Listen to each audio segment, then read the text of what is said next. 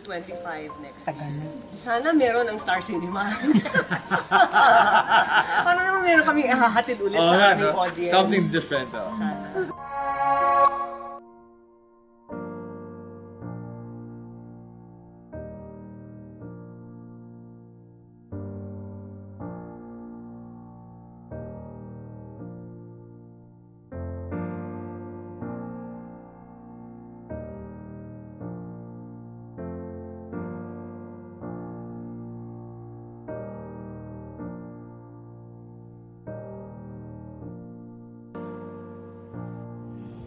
Taong dekada 90, unang nakilala sina Don Zulueta at Richard Gomez sa kanilang pinakaunang tambalan sa pelikula bilang sina Carmina at Gabriel sa pelikulang Hihintayin Kita sa Langit.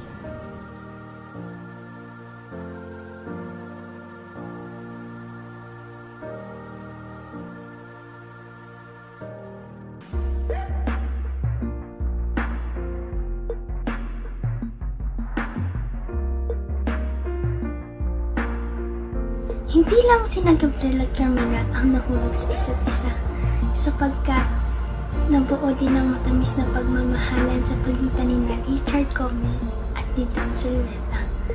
Nang sumabog ang bulkang pinatubo, kasabay nito ang unang araw na pinalabas ang makapintig hiningang pelikula sa mga sinihan na naiwan ng kakaibang marka sa karamihan.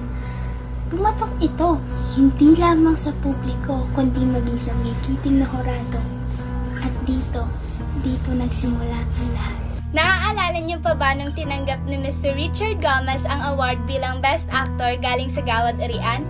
Samantalang nakatanggap naman ng Best Actress Award si Miss Dawn Zulueta para sa pelikulang Hihintayin Kita sa Langit.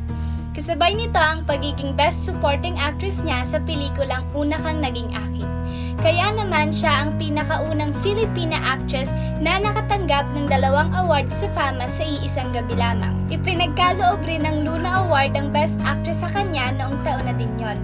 Dahil sa positibong mga komento at pagtanggap ng masa sa tambalan, nasundan agad ito ng isa pang proyekto na pinamagat ang iisa pa lamang noong Pebrero taong 1992. Matatandaan na sinabi ni Don Zuleta na sa pelikulang ito sila mas naging komportable sa isa't isa.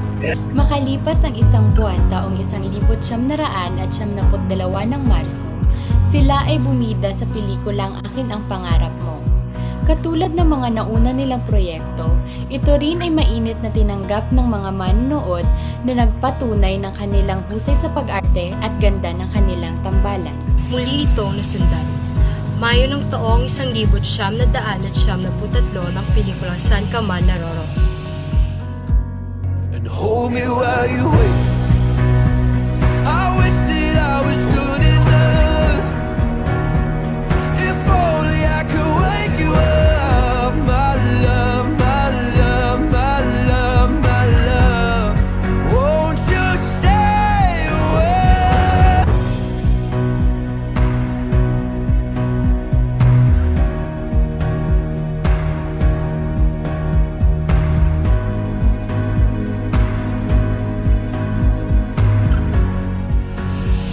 1973 din nagwagi si Don Solueta ng Best Actress sa MMFF para sa biglang kung mawawala ka ba.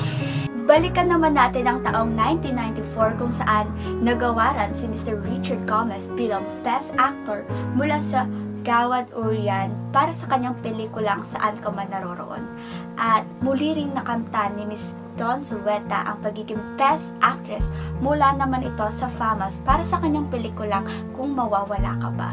Taong 1995, sa Very Special Dawn, muling nakita ng publiko na magsama sa telebisyon sina Richard at Don. Hindi nawala ang chemistry ng tambalan nila. Nandun pa rin ang kakaibang kinang at presensya. Muling kinilala ang husay nila sa pagganap sa pelikula. Si Dawn bilang Actress of the Year para sa pelikulang Buhay ng Buhay Ko. Si Richard bilang Best Actor para sa pelikulang Waiting at the House. Muli ring napatunayan ang hatak sa takilya ng isang Don Zulueta nang kilalanin siyang box office queen ng GMUSF ng taong bilyon.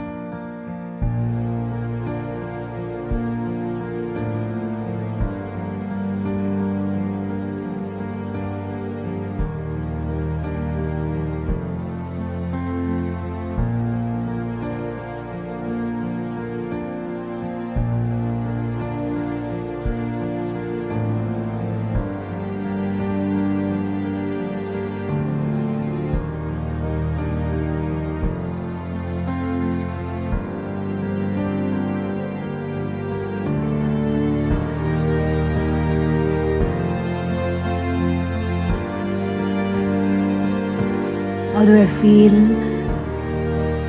when I see younger fans getting crazy about Chardon Tandem? Well, I can't blame them. They see what we saw before. Walang kupas. Kahit na meron ng mga kanya-kanyang pamilya, pamilya, oh, grabe pa din pag sila nagsama. Naalala ko during our time, ganun na ganun din kami. So, walang pinagbago kagaya ng mga iniidolo natin, ang pagmamahal natin sa ating idol is walang kupas. You know, Chardon will always be a Chardon. Walang makakatalo niyan kahit na sa mga bagong tandem ngayon. May mga sarili silang pamilya. We're still here for for Chardon, di ba? We will gonna be here hanggat may Chardon. Andyan lang tayo para sumuporta. Happy anniversary! Disyembre 2003, makalipas ang kanilang sampung taong pagtatambal, ay muling nagsama sina Richard Gomez at Don Zulueta sa pelikulang Filipinas bilang magkapatid. Maikli man ng kanilang naging pagsasama ay hindi maitatanggi ang kanilang walang humpayong na husay sa pagganap. Nakamit ni Richard ang Best Actor sa People Choice Award sa nasabing pelikula. Noong 2003 to 2004 ay muli silang nagkasama sa isang miniseries na Sayo Lamang at nagpakilig at nagpaluha sa teleseryeng Forever in My Heart. May 2005 ay naging bahagi sila ng isang fantaseryeng Encantadia. Maiksiman ngunit minahal at sinubaybayan ang kanilang mga karakter bilang inang Reyna Minea at Prinsipe Raquel.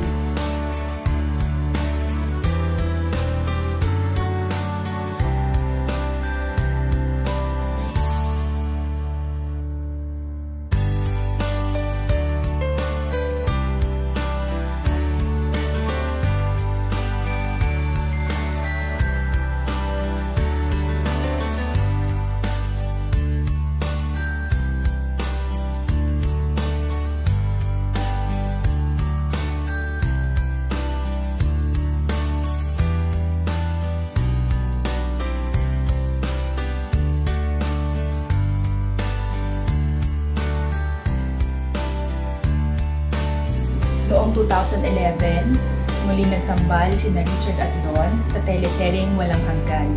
Isang malaking tagumpay ang proyekto.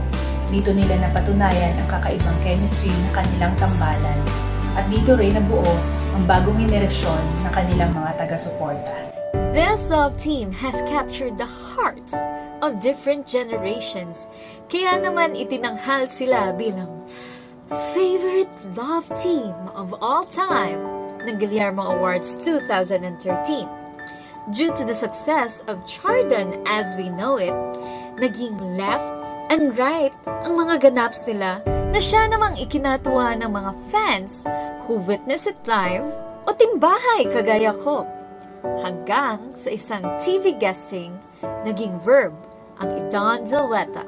Noong 2014 ay gumanap ang Chardon sa isang millennial na pelikula, She's Dating the Gangster.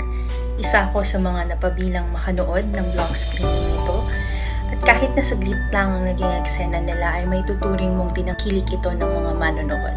October 28, 2014. Look test pa lang ng muling pagbabalik tambalan sa pelikula ng Chardon ay lumikha na agad ito ng ingay sa iba't ibang mga social media platforms. Talaga namang maraming fans ang nag-aabang sa muling pagbabalik ng Chardon sa big screen matapos ang kanilang huling pelikula noong 2003 na mahigit 12 years na ang nakalipas. Ikalabing dalawa naman ng Agosto ng taong 2015 nang ang inaasam-asam at pinakahihintay na pelikulang The Love Affair na pinagbibidahan ng Chardon kasama ng isa pang premyadong aktres na si Bea Alonzo ay ipinalabas sa mga sinihan. Unang araw pa lang ay marami na ang pumila at ilang linggo rin itong naging usap-usapan at naging blockbuster sa mga takilya nationwide. Hindi lang mga tagahanga sa Pilipinas ang nagkaroon ng chance panoorin ang The Love Affair. Maging ang kanilang mga fans overseas ay nagkaroon din ng chance panoorin ito. Kasama rin ang Chardon sa ASAP Live in London upang ipromote ang kanilang pelikula. The Love Affair is the second Filipino film to break a 300 million mark for that year.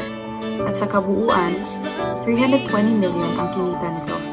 Dahil sa tagumpay ng kanilang teleserye at pelikula, dagdag pa dito ang ingin ng kanilang mga tagahanga at supporter sa social media, November 2015, nabigyang muli ng proyekto ang Chardon. At ito ang You're My Home. Mas maraming humanga sa tambalang Richard at Don dahil sa hindi kumupas itong chemistry mula noon hanggang ngayon.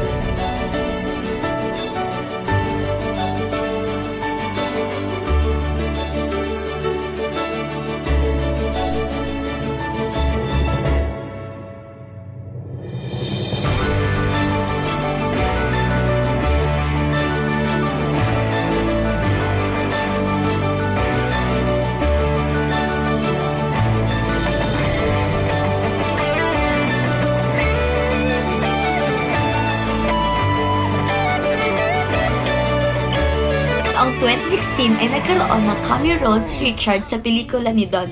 Ang saglit na pagsasama sa eksena ay mabilis at maingay na naging usap-usapan sa loob ng mga sinihan. Napaka-unexpected talaga ng paglabas niya sa eksena, kaya naman lahat ng tao, lalong-lalo na ako, ay kilig na kilig, hiyawan at tilian ang nangyari. Nagtrending pa si Mamo Nakaping sa pelikula Love Me Tomorrow. Mahigit na 25 taon mula nang ipalabas sa mga sinihan ang unang pelikulang pinagtambalan nila, ang Hihintayin Kita sa Langit. It's where it all began. A romance was born out of that film. A romance that I think I'll never forget, sabi nga ni Ali Lizzy. And it was on February 27, 2017 when the film was digitally restored at nabigyan kaming mga nagmamahal sa kanila ng chance not just to watch it all over again, but to see Chardon together once again in public.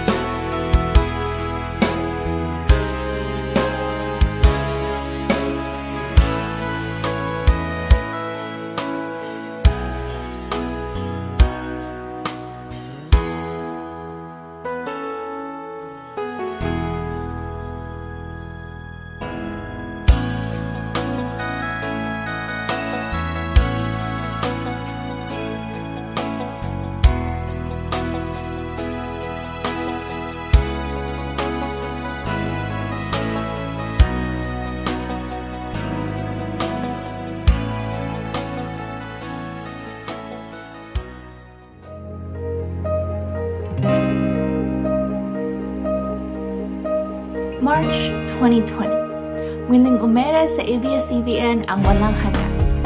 Kasabay nito ang pinabago ng namang henerasyon ng tagahanga ng tambalang Chardon.